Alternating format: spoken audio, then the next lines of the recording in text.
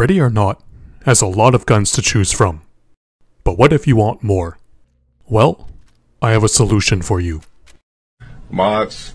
That's right. With the power of modding, there are even more weapons and accessories you can add to Ready or Not. Want your latest Hypebeast overpriced optic mount? Check. Want the latest rifle that everyone is cloning because some blurry DoD pictures showed some SEALs using them? Check. Want whatever this is? Check. In this video, I'll be going over some of my favorite weapon mods I use. So, let's get started. The first weapon mod is the Staccato P. This is a 2011 pistol made by the company Staccato and is actually in use with a number of SWAT teams, including LAPD SWAT. Put simply, a 2011 is an upgraded 1911. Compared to a 1911, a 2011 is a wider gun that accommodates a double stack magazine. This allows a 2011 to hold much more ammo than a 1911, while retaining the latter's best features, namely, its trigger and grip angle. Historically, 2011s have been very popular in the competition world, but have seen very little duty use. Due to their tight tolerances, many 2011s can only be run with specific ammo and don't do well in adverse conditions. One of the premier companies that made 2011s was a company called STI. Why did they choose those three letters? I couldn't tell you. During the company's life, they made very high quality 2011s for competition use, and they were quite popular for that purpose. Unfortunately, the competition shooting market is quite small. So in 2020, STI rebranded themselves as Staccato and began making 2011s intended for duty use. The Staccato P is their full-size duty pistol. Some of you may wonder what the point of this gun is, because compared to other full-size duty pistols, it's incredibly expensive. The Staccato P comes optic ready out of the box, which isn't something all pistols are capable of stock. It also has a fiber optic front sight with a blacked out rear sight, a holdover from the competition world that's also begun to find favor in the duty and defensive world. The gun comes with a flared magwell that makes reloads much easier to perform, another feature from the competition world that can be useful on a full-sized pistol. And of course, the Staccato P retains the great trigger and ergonomics that are inherent to the 2011. It's much easier to shoot than most striker-fired handguns. The best thing Staccato seems to have done with this pistol, however, is to improve its reliability. Most users report that the gun is much more reliable compared to 2011s of the past, and the large amount of law enforcement agencies who have approved the pistol for duty use seems to support these claims. The mod itself replicates the Staccato P well. The fiber optic front sights, flared magwell, and unique grip are all here. And the magazine capacity has been increased to a realistic 16 rounds for the 9mm version. It can attach optics and attachments, and is a lot of fun to use. The mod also comes with a number of different colors and engraving options you can choose from. Of course, I went for the LSPD SWAT version. It's a fun gun to use, and in my opinion, a vast improvement over the M45A1 it replaces. The next weapon mod is the MP5 SD6. The MP5 is perhaps the most popular 9mm submachine gun used in law enforcement. Its roller delayed system makes it an accurate and reliable system. And it works. Used by numerous different law enforcement agencies and militaries, its ubiquity is a testament to its effectiveness. The MP5 SD is a suppressed variant of the MP5. Created in 1974, the MP5 SD's standout feature is its built-in suppressor. The suppressor's main function is to reduce muzzle velocity so that the bullet does not break the sound barrier, and thus does not make a supersonic crack when fired. Today, most people use subsonic ammo in conjunction with a suppressed weapon, but the MP5 SD was actually designed to be used with supersonic 9mm ammo. This means that almost any 9mm fired through a MP5 SD will be very quiet. One other neat fact about the suppressor is that it can be fired with water inside, now, I don't know anyone who could take advantage of this, but it's a neat feature. The MP5 SD6 is the suppressed variant that comes with a skeleton buttstock and 3 round burst setting. It's a very quiet gun and compact, making it ideal for those who need to enter small areas and do their work quietly. Put your hands up! Many different special operations units have made use of the weapon, as well as some police units. The mod changes the MP510 to look like the MP5 SD6. It's fairly well replicated, though you need to equip one of the stock suppressors. Otherwise, you'll have an MP5 SD that sounds unsuppressed. Another quirk of this mod is that the empty reload will be a bolt release one, rather than an HK slap. This seems to be a result of this mod being a remodel of the MP510 without new animations. But overall, still a neat mod. The next weapon, and only AR-15 on this list, is the L119A2. Now you might be wondering, why mod another AR platform into Ready or Not when there's so many already? Well, the L119A2 is a bit different. A Canadian-made rifle that ended up in the hands of British Tier 1 units. Now, despite the country they're made in, Colt Canada has a reputation for making some of the highest quality AR-15s in the world. One of these rifles is called the C8 Special Forces weapon. This is an AR-15, but with a heavier barrel and overgassed for adverse conditions. In the early 2000s, the United Kingdom Special Forces were looking for a new rifle, specifically one that could operate in a multitude of climates. After rigorous testing, they decided the Colt Canada Special Forces weapon would be the rifle of their choice, designating it the L119A1.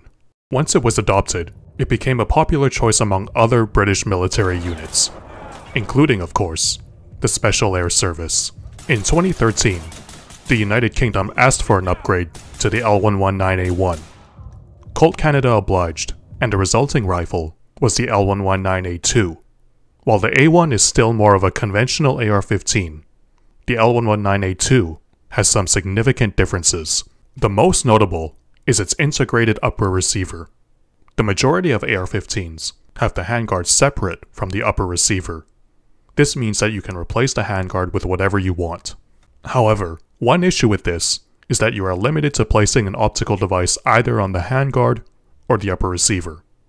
Placing an optic in between, or bridging, can lead to loss of zero. In contrast, the L119A2 combines the handguard and upper receiver into one long piece, called an integrated upper receiver. This means that a user has the freedom to mount an optical device wherever they want, without worrying about losing zero. However, this system has some disadvantages. The rail is prone to heating up very quickly, and the one-piece upper makes it much more difficult to clean in the field. Is this an improvement over a conventional AR-15? It's hard to say, but it is interesting to note that an integrated upper receiver is incredibly rare to find among other AR-15s. Soldiers also generally seem to prefer the older A1 over the newer A2, due to the problems with overheating and cleaning.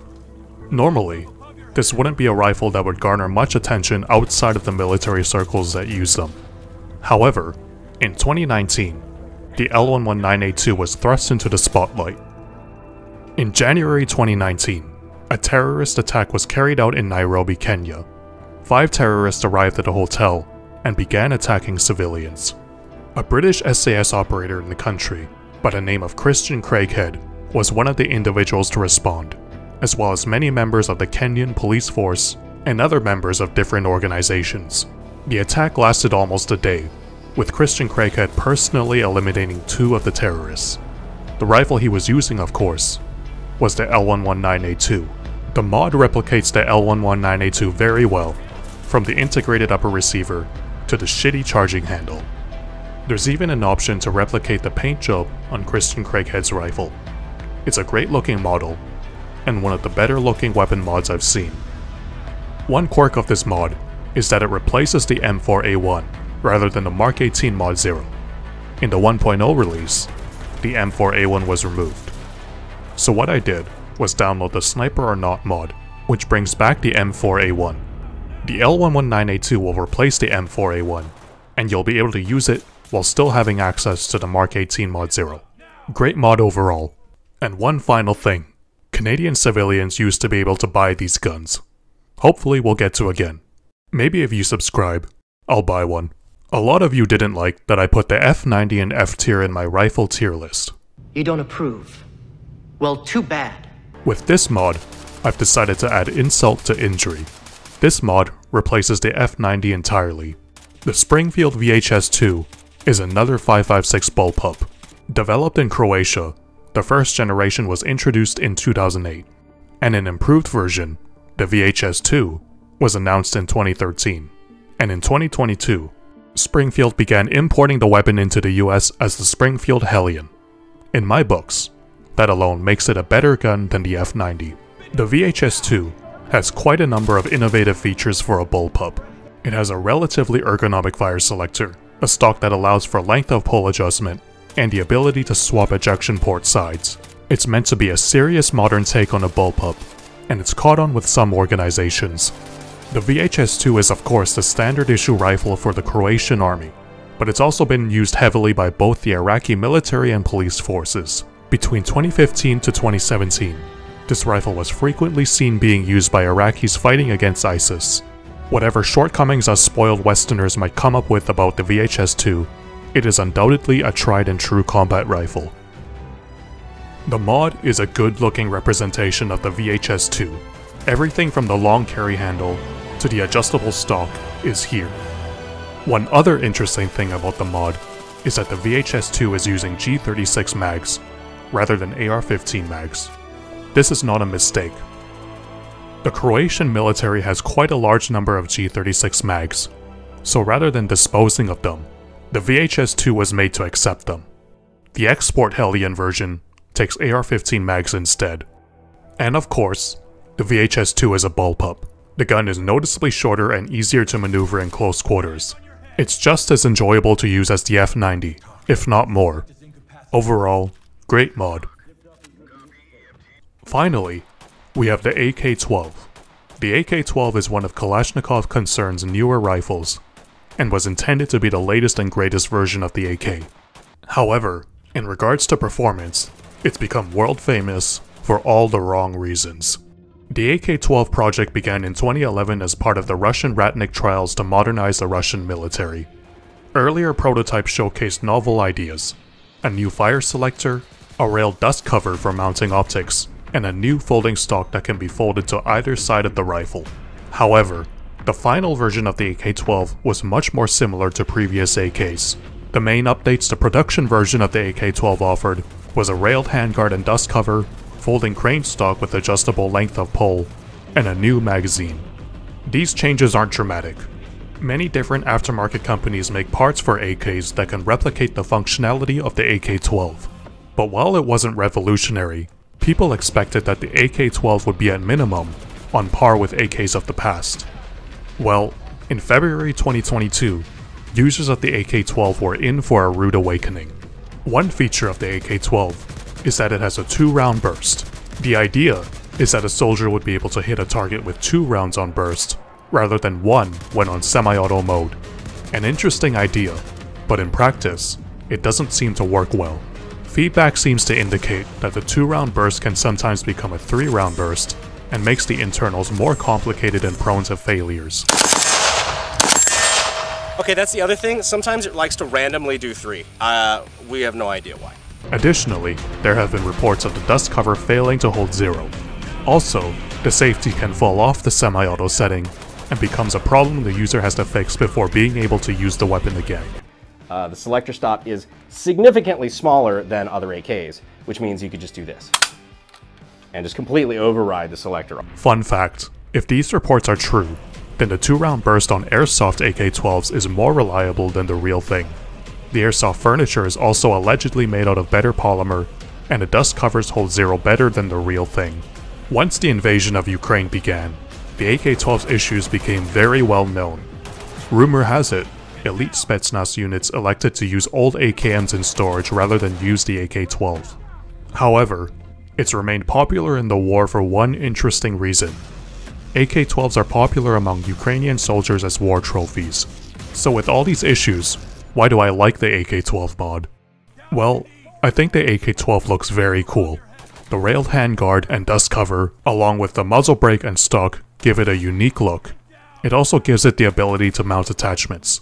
And since it's a game, I don't have to care about wandering zeros. The mod itself is a faithful representation of the AK-12, other than the two round burst. But personally, I don't like using burst mode on guns anyways. The recoil has also been reduced to match the AK-12, given that it's a 545 gun and has a ridiculously large muzzle brake. It's a fun gun to use, and gives you more optics to choose from than the SLR-47 it replaces. And of course, for those of you who played a certain shooter in 2013, this gun is pure nostalgia.